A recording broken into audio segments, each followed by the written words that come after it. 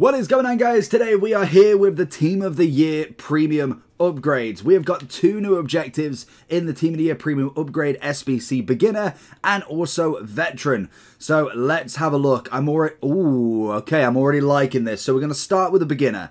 81 double is at the start. We have got to complete a Premier League or Premium Premier League SBC. Gets you one. Then we've got a Ligue 1, a La Liga, a Bundes and a Serie A. I'd rather have teams more like this then I recommend going over to skycoach.gg for all of your coaching and coins needs. They are cheap, fast, and reliable, but at the checkout, make sure you are using code JT11 for a discount on your orders. Back to the video. Just to get the numbers up of obviously what uh, people are doing. So that will just be one. Gives you plenty of experience if you're needing any to get to level 50, uh, 30. And then we have the team of the season Team of the Year, Premium Upgrade SBC Veteran. So, if we have in this one, complete the Premium Premier League upgrade 25 times.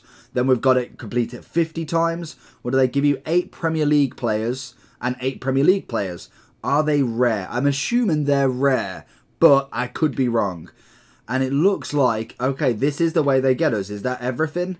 Ooh, only 10 Bundes is oh okay okay that's not too bad then i was thinking i was like 25 and 50 for every single one is pretty crazy to be honest but uh, premier league league and obviously the 25 and 50 so it is just an extra little bit on top of doing the grind anyway. With the Serie A, you obviously have 10 and 25 because there's only Fio in, I believe, from Serie A. With La Liga, you've got a few from Real Madrid, so you've got the 25 and 50. And with the Bundesliga, you have 10 and 25. I would argue you get 10,000 XP. The problem is the XP is great, but is it needed? Because realistically, like I'm, I've not grinded the objective very much. Normally, I'd be finished like two weeks ago, so I've got a little bit of XP. But that 10,000 is most definitely not going to help finish this, unless no, because it would leave. It would go in 10 days, so it wouldn't even matter. I was going to say, we're with the obviously the XP, it's nice, but I really think they should have given us like a rare players pack to finish, just being a little bit picky there. So let's have a look. We've got the premium SBCs then. So if we go down, we'll see what upgrades we've got.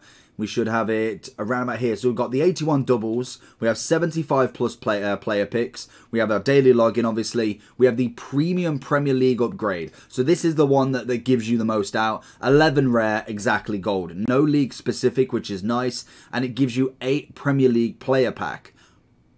Okay, I'm interested. I'll, I'll have a look at that. Then we've got eight Premier League. Uh, oh no, that's eight League on Premium, Premium, Premium. Do we have? Here we go. Premier League upgrade free Premier League players, repeatable. What do we need for this? 11 gold. I'm interested because free Premier League. What we'll do uh, was it just gold? So what we'll do is we'll put one in, and I'm interested to see. We don't we don't need to see what um, actually it gives us, but what I want to know is if we put untradables in, what do we actually get back from this? Because if it's free rares, then that's fine. That's not a bad little grind. Otherwise, you may as well go do a two gold upgrade if this is not more than one rare because a lot of the time it is just one rare. I suppose you can keep grinding round, which is always nice. So this is the first one. So Premium League upgrade. It is a free Premier League player pack. It doesn't give us any specifics on if that is obviously um, a rare or not, a rare players or not. I'm assuming it's one and two, if I'm right. We've got the Premier League, yeah, one rare, uh, two commons. Just thinking of the grind with that, because realistically, with the 11 rare, you oh hello, Team of the Year fans choice. From the PP granted, you selected uh, the Team of the Year nominees you want. The winner will receive a full Team of the Year item upgrade and will be added to FUT 23 from 27th of Jan. What are we on? 23rd. From the PP granted to you, selected which Team of the Year nominees you want to win. Oh, okay. Oh, so this is the 12th man from the 27th. That's quite late. Oh, Cancelo. So we don't even get it. Well, we know already. Straight away, that's going to be Haaland. There's no way that I'm picking Cancelo or Valverde. So Haaland's won that 12th man vote if it's not rigged. But with that, obviously, you want to get the uh, more rares in your club. So you do get two commons back, and there is a more chance of obviously packing a team of the year once they're all in packs from them but then you don't get the two rares backs to do the premiums. So you've got to kind of battle with yourself to think, is it worth going for a two gold upgrade with a chance of more rares and still every team of the year, or going more specific with a specific league uh, SBC? with then only getting one rare back and two commons to whack back in. So every time you just need to put nine golds in.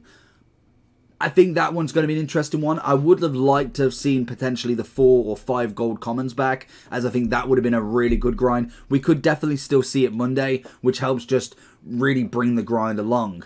But I'm interested to know what do you think? The the normal upgrades I normally do the, the, the gold upgrade. It's normally the one I go for, but I have definitely seen Team of the Years being packed out of these. Last year we had these during Team of the Season as well, so I have seen a lot of people packing some good stuff from obviously these minor upgrades because there's not a pool of players that are unlimited. So you do get the chance of just Premier League players, which is going to be good for League 1 because obviously we can grind that into potentially the League SBC to grind out more it's always a shot with that. But in general, I think they're good SBCs. They are there for what, 10 days?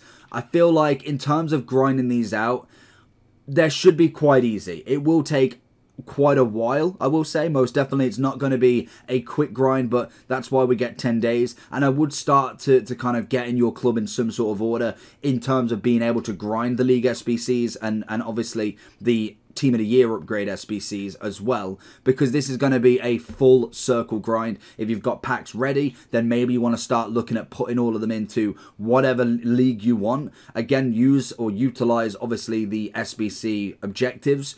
I personally think with these objectives, I would go with what you want. If you're not fancying doing any La Liga, I wouldn't say it's necessarily a bad thing if you don't do these. These are purely for anybody that wants to do the upgrades, if, like I say, you're not level 30 yet, but you want to get that rare position pack, then yes, that is going to be well worth trying to grind out as much as you want. But in terms of doing these, I would just stick to personally what you want. Get this one done because obviously you get your two player and it's just one of each. Give a shot of one, and to be honest, that's not a bad one. But when it comes to these, I feel like when you're doing 50 La Liga and if you're really not fussed about getting a Courtois or about getting a Militao or a Benzema, you want Mbappe, you want Messi, you want KDB, then I would personally stick to what you want on these. We will be doing a full breakdown on how to grind all of the league upgrades, so if you want to subscribe and stay around for that, that will be up next because in terms of opening packs right now, I would personally wait until we get all of the team of the years in there. There's just no real need right now with obviously the midfielders. Start stocking up. These are the now few days that we've got, I think until Thursday or Friday, until everything's in, to really get your club in a position where you can either start ripping packs straight away when Team of the Year is fully in, or you can obviously kind of just kind of doodle along a little bit, maybe sell some things. Hopefully the market does rise up a little bit with obviously all these commons and most definitely gonna be at some point where people just wipe their club. They put everybody in, and then once you've got all your untradables, you then need to go buy stuff you start need to do upgrades because the way you're going to have to grind these if you don't have coins is going to take a long time to do, most definitely. But I personally would stick to the plan, go with your upgrades of what you wanted. If you want to do the first one, then that's always good. But I think it's a nice little extra bonus for these League SBCs. I just think the 10,000 XP at the end is not necessarily worth it. I'd have loved to have seen a pack there. Maybe it might be a glitch and it might change, but I think very, very unlikely. So let me know down below what you think about these objectives. Make sure you do like and subscribe, and I'll catch you all for the next one. Peace.